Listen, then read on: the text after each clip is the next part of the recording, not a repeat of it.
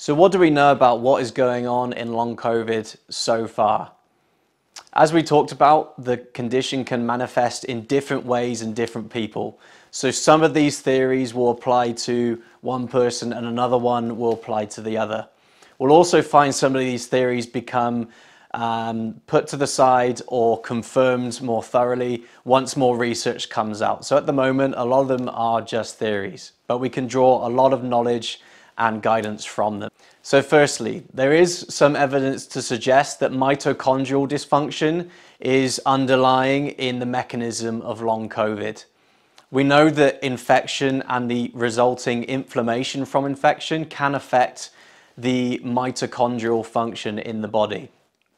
This will show up as energy deficits and especially in those organs that really require lots of energy, such as the brain and nervous system, that's where symptoms are going to start appearing because of that lack of energy.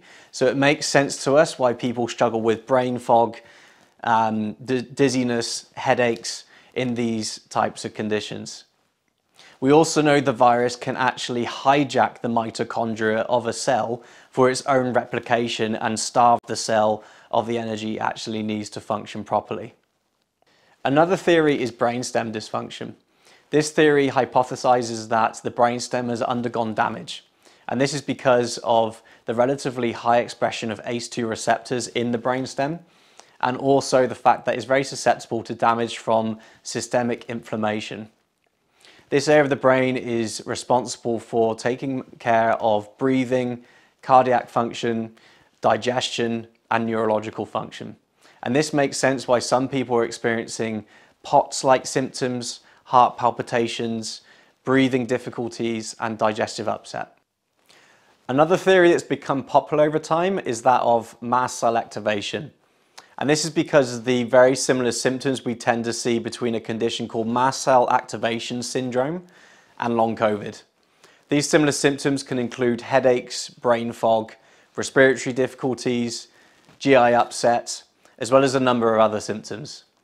The mast cell is an immune cell involved within the immune response to an infectious trigger or other triggering events. And the mast cell is something that will typically release things like histamine, as well as cytokines, which really mediate the inflammatory response to these triggers. There is also evidence to suggest that an autoimmune process may be occurring in long COVID. There's been a correlation observed in patients that have had previous infections from a SARS-CoV-2 and higher levels of auto-antibodies in the body. There is also the theory of viral persistence. This theory theorizes that the virus or parts of the virus may remain within the body after the acute infection is over. This may be that the virus is remaining dormant within cells and hidden and becomes reactivated among certain circumstances, or fragments of the virus that have been previously wiped out from the immune system still exist within the body and are causing immune reactions. This may be a reason why people that are administered a vaccine when they have long COVID, we tend to see about 30% of them improve. And it may be that the immune system is being upregulated again to search out existing and remaining parts of the virus in the body to then therefore completely wipe it out. Then there's the awakening dormant pathogens theory. This theory suggests that the SARS-CoV-2 and acute infection may have overwhelmed the immune system so that it can no longer keep under control pre-existing pathogens that were actually existing in the body before COVID occurred. And finally, it has been observed that SARS-CoV-2 and the acute infection has a significant effect on our microbiome, which is the collection of bacteria that sits within our gut. This is vitally important when it comes to the immune system and our immune response to viral triggers because our microbiome has a significant impact on regulating our immune response and inflammation within the body. Therefore, it has also been shown that people with a more varied, healthier balance of a microbiome pre-infection had a better response to the virus.